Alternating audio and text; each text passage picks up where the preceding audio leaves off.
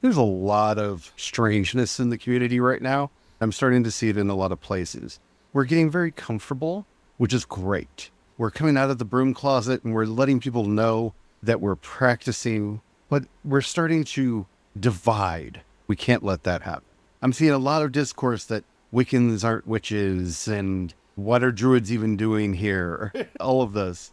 And like we covered in our joint revival of witchcraft and druidry episode, we have a lot more in common. We need to stop the division. One of the things that's really vital in our practice is an understanding of the difference between druidry and witchcraft and how they actually work very well together. So, we're going to talk about druidcraft today as we walk down Creation's House.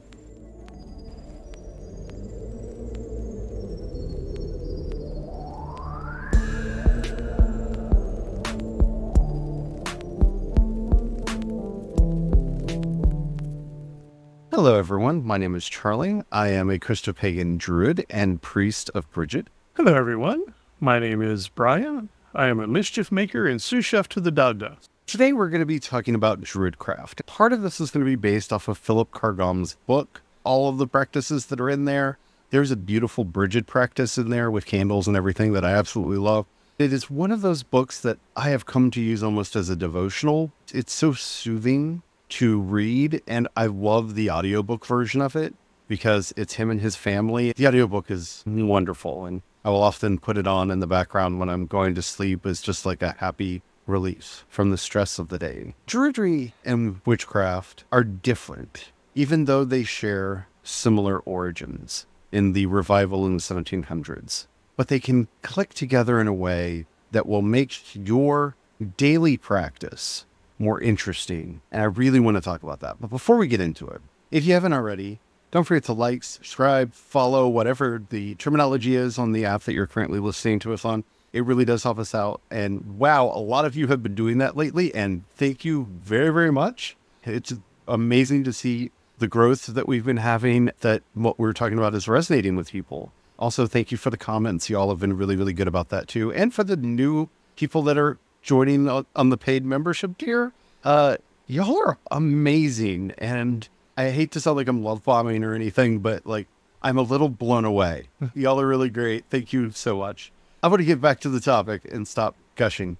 One of the more interesting things that happened, especially with Ross Nichols' version of Druidry, which, like we said in our joint revival episode, isn't the only version of Druidry that's out there, but it follows in the footsteps of the kind of Iolo Morganwg school of Druid revival, treats Druidry like a mystery school, not so much like a magical practice there are magical practices that are available to druids that are taught in OBOD and in AODA, many of the other druid orders. There's also a lot of hedge druidry out there for people and peregrine druidry out there for people who are not a member of one of the druid orders. And that's great. That's wonderful. But because the druid revival came about through this lens of restarting a mystery school, there's a very head oriented way of doing druidry that is very different from what you see in Wiccan witchcraft. It's it is embodied. There's a lot of go out to nature, be amongst the trees, you know, study the world, but there's a lot of that study side of things. It's very mystical. Don't take this as an insult. I love druidry and I love the way it's taught, but it's not a very practical path. It's very philosophical maybe might be the best way of saying it. Yeah, I like the imagery of the head versus the heart. I know you didn't say heart, but in a way that was implied, where a lot of the witchcraft practitioners have that it's more intuition, it's more gut, it's from the heart, it's from that more free flowing, less structured. And in druidcraft, like you said, like a school of mystery, it's more intellectual, it's more in the head, it's more of a philosophy. It has a lot of more of that structure in there. Druid magic is very elemental and it's very much more theurgy, aligning ourselves with nature, working on ourselves, bettering ourselves, helping to get ourselves to that place of more enlightened relationships with the forces of nature. That's great. That's wonderful. I'm not knocking any of that.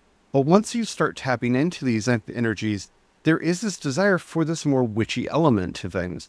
I don't think druidry is for everyone. Like the exact practice of druidry is for everyone. Not everybody is going to want to go to the mystery school.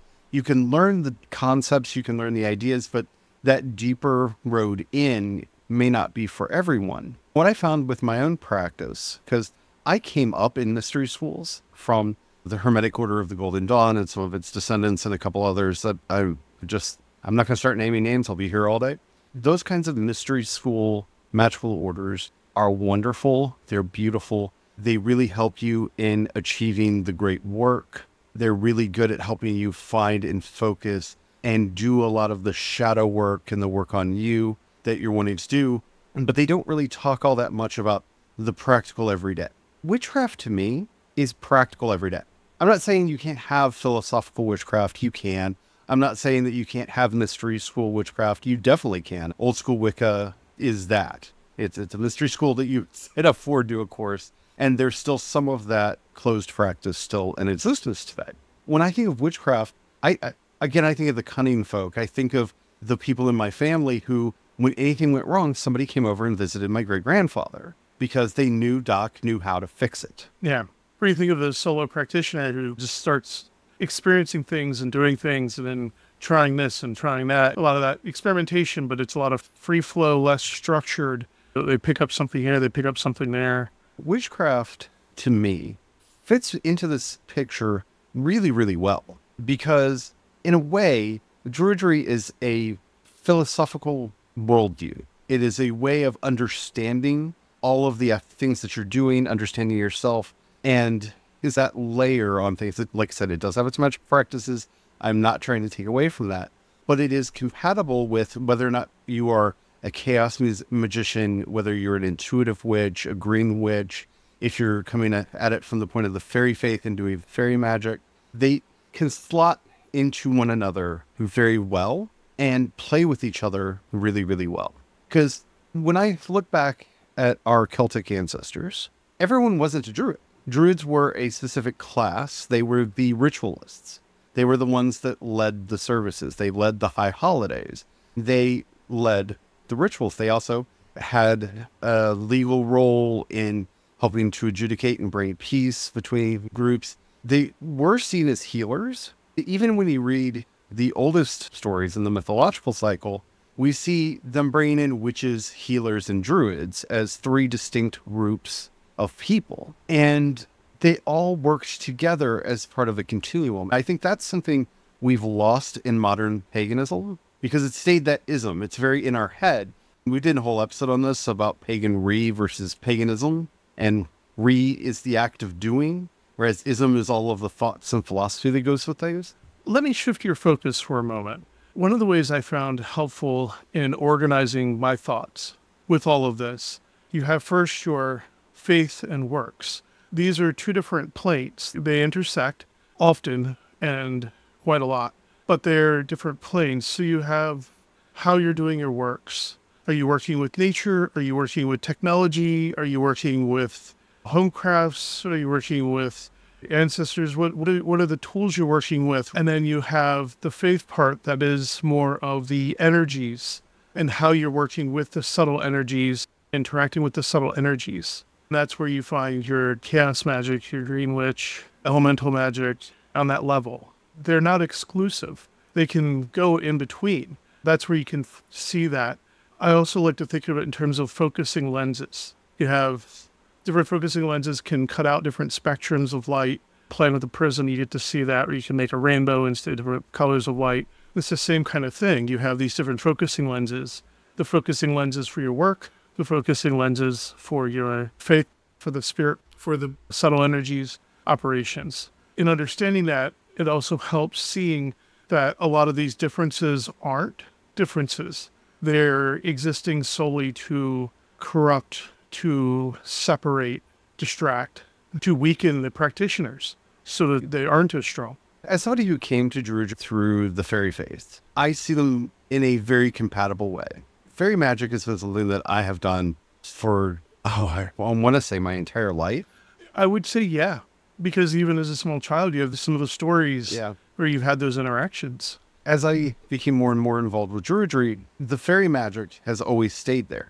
I don't want anybody to misunderstand me and think that I'm saying, well, Druids should be the religious caste or anything like that. I'm not saying that they are necessarily the priesthood or anything. I just think that for my own spirituality, when I am going to do something, if it is going to be in an elaborate ritual for aligning myself with the seasons or aligning myself with nature or celebrating a major holiday, my mind tends to flow more in the druidic way. For my practical day to day life, I'm making offerings to the other crowd. I am working on my altars with the other crowd. I am working with my fetch to better myself and figure out where I need to go. Feels weird to say it this way, but my more mundane, regular life, I'm using a lot more of that fairy magic than I am any of the more philosophical, almost more impersonal druidic ideas that are out there. Because druidry does feel a bit impersonal to me. And I think that's one of the things that people have against it. That's not a bad thing. When I'm trying to understand my place in the cosmos, when I'm trying to understand the world and all of the chaos in it, when I'm dealing with those bigger picture issues, druidry is that focusing lens that I tend to go to. But for everyday things, I'm having a squabble with somebody's treating me really bad.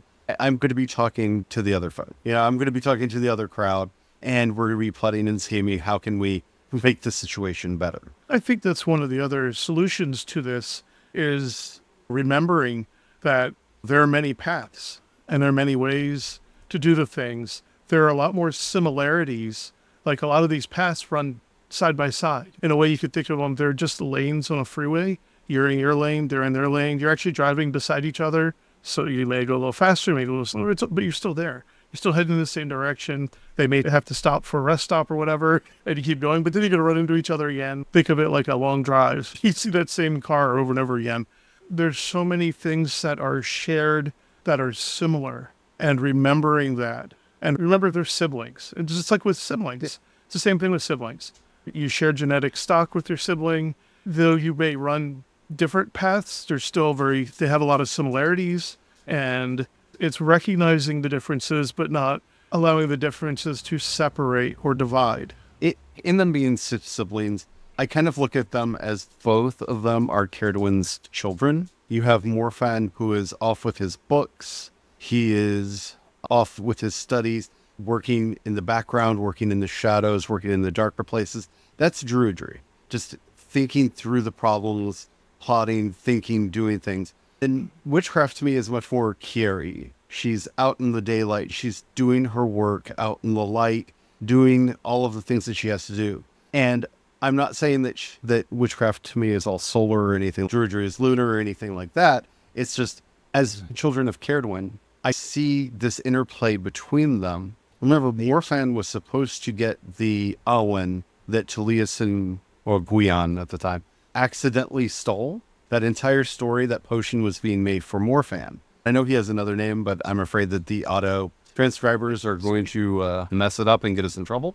Know that I do know the other name, and I usually use the other name, but we're going to go with Morfan for this. When I started thinking about him that way, and this actually came from my druidry practice, where I was in meditation with Morfan and Kieri. Just this image of Morfan sitting at his desk, working out the solar alignments and how all of the stars align and doing that deep divination work and all the things that I associate with druidry. And there's Kiri out with the other crowd as somebody who practices the fairy faith and fairy ma- magic out with the other crowd, having mischief, having fun, doing the things that need to be done, the much more practical, day to day, down to earth kinds of things. That's how I have balanced the idea of the craft and druidry. When our allergies are bad, I, I go to what I've learned in the craft, and here is a a potion. Let's, let's be honest what they are. Here's a potion, a tea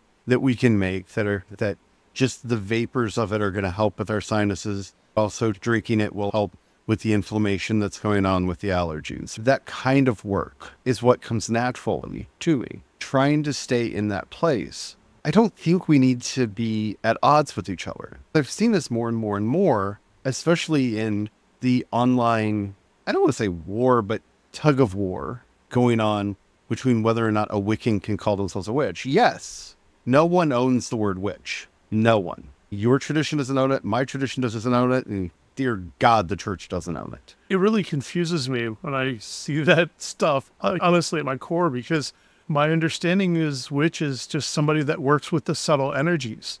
That's the definition. That's it. If you work with subtle energies, congratulations, you're a witch. Period. If you're a Christian, that's how you get Christian witch because they're Christians through faith working with subtle energies. Witch. Congratulations. Ta da. That's a miracle worker. They're witch. It's the same thing if you're a druid and you're working with the subtle energies, you're a witch. And that's where I get confused. Like, I understand the difference between a druid and a Wiccan just because they had their parentage comes from you know, someone's like shared daddies. They shared a magic sword together. That's really intimate. That's like that's at least like work wife level of intimacy. Yes. They they were work husbands. They were work husbands. they were craft husbands. Craft. Yeah. One of the ways my brain wraps around this is I, I'm a big believer in fate. I think that fate is a thing that we have and a thing that we can alter and change. In my way of seeing this, I use one Irish word and one older English word the reason for that is I don't like the older English word. The older English word is Borlaug, mm. and I, I just don't like saying it. I don't like saying it. It's, it doesn't make me happy. So I say the Irish word donna. Donna is your fate. It is your craft. It is the work that you do. It's what you're born with. It is your innate talent. It's what you got from your ancestors. It is what has come down to. you. It is your tradition. It is all of that. To me, the druid is the one who works with Dana. The druid is the one that works with that fate that you have been given and tries to figure out how to make the best of it. Whereas witchcraft works with the weird. I'm talking about the fun kind of weird, the, the weird with a Y, W Y R D. Weird is the fate that you make. It's the fate that you weave. It's not set in stone. It's mm-hmm. very fluid. It's the fate that you can change. It's all the things that are up in the air that you can edge the percentages on. That is what witchcraft works on. That is the purpose of the craft. You are messing with your weird. You're trying to get it ever flowing in the direction that is good, beneficial, and healthy for you. So while Druidry is aligning me to my Dana and helping me understand where I'm coming from, my craft is helping me steer my future fate to where I need to be. I come at this from a Stoic point of view because I love the Stoic definition of fate. And this relates to the uh, Irish idea of Dana everything that's already happened to you was fated because it's in the past and you can't change it. So that's your fate. Everything going forward is your weird. When I practice, that really is how my practice gets divided. Now, I'm not saying I never do any druid things that mess with my weird and that my dana never affects my craft. They, they do, but primarily, this is how they tend to break out in my own personal practice. And once I understood that, I realized I needed both because Druidry really does kind of deal with that. How do you work with your innate talents? How do you work with what you were born with? The current nature of the world, the seasons, the times, and everything. And is very observational in that way because it is a practice of alignment And Druid magic is very much about aligning yourselves. Whereas the fairy magic that I practice, the fairy craft that I practice, is very playful. Rituals are very simple. Sometimes I light a candle, sometimes I don't light a candle. Sometimes they're just some words that are spoken. Sometimes it's just an offering that I leave out at the place that we greet the Fae. I know never to call them that to their face. It's much more playful. I need both of those in my life. I'm not trying to say that everybody needs to have a druid practice. I think a lot of people would benefit from a druid practice. They do think we need to start looking more at how we can bring the various things that we're doing together. I don't see, for example, a difference in what I do with chaos magic and what I do in, in my fairy craft. Because you know what? I found out the other folk love sigils. Yeah. They, they really do. It is a fun way to work with them and to engage them my sigil work comes in there, and I don't see a lot of fairycraft practitioners talking about working with the other crowd and sigils. And maybe that's an episode we should do. In my own practice, I found that they love sigils. They love being involved in the inspiration for how they should look and what they should be, how they should be arranged, and how they should be empowered. There are some in the other crowd that are more than willing to help empower those sigils to help maintain them and keep them working. There are those that would say you can't be a chaos magician and somebody who practices fairycraft. Or if you do, they're separate and distinct things. They're they're not. Magic is magic.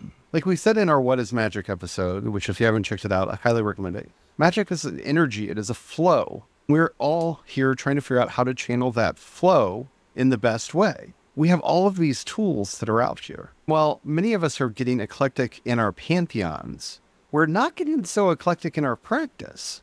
I think it actually might work better the other way around. Find some deities, some guides, some guardians, some gods that you can really connect with and develop relationships with, because the better those relationships, the better the workings with them will be. But be eclectic in the styles of magic that you are doing. Maybe you need to be doing more pouches, more candle work, more spells, more rituals. Maybe you need to be celebrating your holidays better to root yourself in firmer. Maybe you need to be doing sigil magic.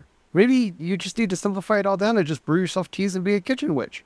I don't know. There are times when I sit back and go, maybe I'm just a kitchen witch. Honestly, when you have that point of conflict, that's when you need to pull out your journal and make a note. That is a point that you need to work on. In all the practices across the board, they all are about resolving the conflict at their core. So if there is a conflict, if there is some struggle or issue, that is a point to reflect and contemplate upon, bring healing to it, which could be simply your own personal healing, because there's some people that actually resonate strongest with Christian magic, basically. But because of injuries in their past or injustices that they learned about, they've been put in conflict. So they're now trying to force themselves through a different lens. And, and it's a translation that gets lost. It's like a second language. You might get really good at a second language, but it's still a second language. And it's resolving that conflict so that in healing that, you can return to what calls to your heart the most. And sometimes that may change as we change throughout our lives. Once again, in our practice, we recognize the seasons and the changing seasons. We may hit a season change where suddenly what called to you doesn't call to you strongly, something new is calling to you strongly. And it's okay to look into that. Don't worry so much about being wrong. You need to practice basic spiritual hygiene. Make sure you're doing your banishings. Make sure you're closing your circles if you do use circles in your magic. Make sure that you're doing the basic things that you need to do to keep yourself safe. But at the same time, my magical journey started with the works of DJ Conway. And no shade on DJ Conway, but those are very light, fluffy books. Like, especially once you really dig into the craft. One of the first books I ever read that sort of gave me into this was her book, Celtic Magic. And I had no idea how to practice after reading that book. It's basically there. Did you know there are these people called the Celts? Here's the Irish mythology. Here are their gods. Here's the, the Welsh mythology. Here's their gods. Bye. There wasn't a lot of meat on those bones, but it was enough that when I was in middle school and I read that book, it stirred something in me and got me starting to think differently and how this could relate to what I was doing when I was going through my practices with the orders I was with while they were using the Egyptian gods, which I find found interesting, or the Greek gods, which I found interesting, but had no connection to. I would talk to whoever I was working with and be like, "So can I use these names instead? Is it all right if I trade these names out because moon god, moon god, da, da, and try this instead?" And because they were older and wiser than me, and they were the place that I'm at now, they were like, "Yeah, it doesn't really matter. It's fine." They helped me do do those changes, and so I found that road in through, like I said, fairly light books. I would say they're 100 level. They're intro to magic level, like very, very basic books. Don't worry. It's called a practice for a reason. It is going to deepen, it's going to develop, it's going to grow. You just have to find a road in. If something like this is really interesting to you and you've never read Philip Carr-Gomm's book, Druidcraft, I highly recommend it. It's a really good place to start. Like I said, I don't practice in exactly the way that is presented in this book, but and my mind does automatic editing. It leans into the Wiccan idea of the uh, duotheism, where you have the god and the goddess. And so my mind just inserts the queen and the lord for the season that I'm in, which is fun because whatever season we're in, it becomes this blank slate. So in spring and summer, I hear one set of names, and in winter and fall, I'm hearing a different set of names in my head. It works for me in that way. Beautiful book love the audiobook if you're into those things. Really well produced, beautiful. text. It's a nice way to just, if you need a 101, if you need an intro, great place to start. Remember, that's all you're looking for is a place to start. If this doesn't jive with you, there are a lot of wonderful books on hedge ma- magic and druid magic and fairy magic. Morgan Daimler has a whole series out about fairy magic if you're interested in them. There's a wonderful book called Druid and Magic that I highly recommend. The names of the authors are escaping me right now. It has an intro by Philip Carr-Gomm in it. Wonderful book. Highly recommend it. That's very much a DIY where they take you through the mythology of here's how druids are pretty depicted. What do you think their practices look like? Which is really, really interesting. It's a fun book to go through. Penny Billington's wonderful book on druidry. Kristoffer Hughes, wonderful book on druidry. There's a lot of really good stuff out there if you just need a place to get started. But I'm really frustrated with this animosity I'm seeing develop, and there's room for everybody. I, I would not call myself a Wiccan. Other people might call me a Wiccan. I don't care. Yeah. Wiccans. I would be like, okay, Yeah. cool. Wiccans are welcome. Druids are welcome. Witches are welcome. Whatever path that you walk, we're all practicing magic. We're just using different words. If you can embrace that spirit, your craft will be better and your life will be a lot easier because you're not going to be in a whole bunch of weird turf wars that don't matter. Got to stop the turf And- wars. In the end, the strength of the practice is in connecting. If you're not connecting, you're just weakening yourselves. Yep. Thank you for listening. I hope this has helped you out. If you want us to dig into some of the topics, we kind of want a lot of the episodes we're doing right now because this podcast is kind of new. We're we're doing very 101 introductory episodes, but if you want us to dig in deeper, let us know. You can leave a comment if you're listening to us on YouTube or Spotify right there, and we'll get to see it. Thank you to everybody who has been commenting, especially over on YouTube. It really does brighten my day to see your comments every day. And wow, there's been a lot of them, and they've been really good lately. Thank you so much for that. If you're listening to us anywhere else, even if it says that you can leave us a comment that you don't notify us so we won't know that you did, please, you can comment there. That's great. Engagement is wonderful, but take that comment and go over to creationspaths.com and click on chat. You can leave the comment there. We'll get to be able to see it and respond and everything there. While you're there, if you have any money you can pass our way, you can sign up for a membership. It really does help us out a lot. You can also support me on Ko-fi and Patreon. I'm CE Dorsett on both of those. We are thinking about opening a Fourthwall account specifically for this fork. If that's something y'all would be interested in, let me know. I think we might end up doing that. It's looking more and more like we're going to be doing that. Probably eventually have a Fourthwall, a Ko-fi, and a Patreon because people have the platform they like to donate on, and pennies are great wherever they come from We're about all about that interconnectedness. all about that interconnectedness. But it really does help us out. That money goes to help us keep food on our ta- on our table, roof over our head, and the power on. So thank you to everybody who does that, especially the newer people that have been joining up. It really does warm my heart to know that we are having a positive effect on people's lives. Alrighty. As we are going out, I usually say a prayer to the one life, but today I'm going to do something slightly different as we're approaching Samhain. May the Queen of the Wind and the Hunters stand with you as we march into this new year, as the courts are changing places and the new time is upon us. May they help you to find the path that you should walk and help you to deepen in the magic and mysteries of the season to come. Amen. Amen.